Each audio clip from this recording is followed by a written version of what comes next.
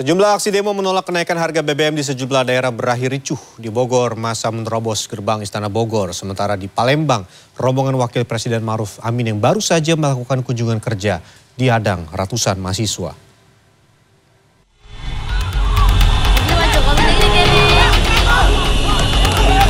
Ratusan mahasiswa yang sedang menggelar demo kenaikan harga BBM menghadang rombongan Wakil Presiden Ma'ruf Amin di kawasan Jalan Sudirman, Simpang Caritas, Kecamatan Ilir Timur 1, Rabu sore.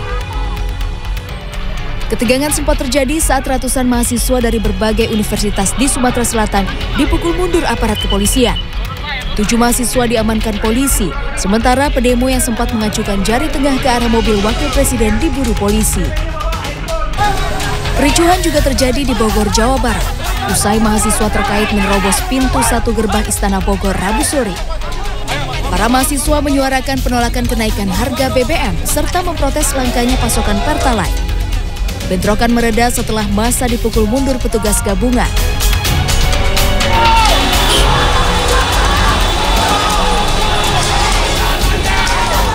Aceh, polisi menembakkan gas air mata dan menyiram massa dengan meriam air saat unjuk rasa mahasiswa berlangsung ricuh Rabu siang.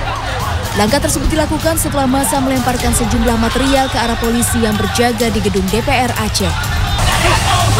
Sejumlah polisi tanpa seragam resmi mengejar dan mencoba menangkap beberapa mahasiswa.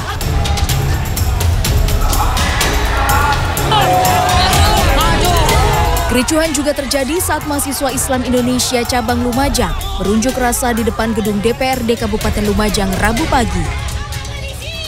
Usai terlibat saling dorong, masa aksi masuk ke dalam ruang rapat paripurna. Suasana kondusif setelah Ketua DPRD Kabupaten Lumajang menerima para mahasiswa. Di Yogyakarta, unjuk rasa menentang kenaikan harga BBM juga memanas Rabu sore. Sebagian pedemo melemparkan botol air mineral ke halaman gedung dewan dan menggoyangkan pagar hingga roboh. Namun ban yang dibakar akhirnya dipadamkan oleh seorang simpatisan dari kelompok warga masyarakat. Sementara di Lampung, unjuk rasa ratusan mahasiswa dari Pergerakan Mahasiswa Islam Indonesia cabang Bandar Lampung sempat memanas Rabu sore. Masa yang tidak diizinkan memasuki gedung DPRD Kota Bandar Lampung merobohkan pintu gerbang gedung dewan. Masa yang ditahan puluhan anggota kepolisian akhirnya terlibat aksi saling dorong. Tim Liputan CNN Indonesia.